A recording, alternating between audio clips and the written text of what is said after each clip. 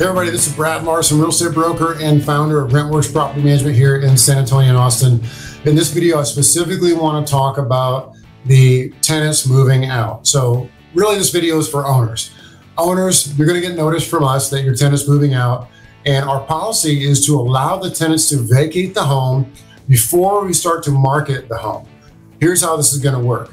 Hey, remember, we had a pandemic and we had all the social distancing and non-contact and everything else. Well, we've adopted a system now that we allow the tenants to vacate. We go in, we do a make ready, we take fresh pictures, and we market your home as a move-in ready home.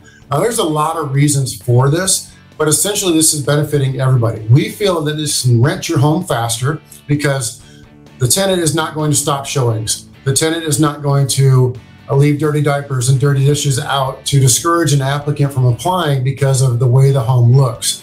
We feel this is an opportunity to highlight your home in a better fashion. So we allow the tenant to vacate, make ready, and then we put your home on the market with fresh pictures and video and get it rented super quick. So that's our policy now. If you have any further questions about it, feel free to reach out to us at rentwerx.com and we look forward to working with you on this.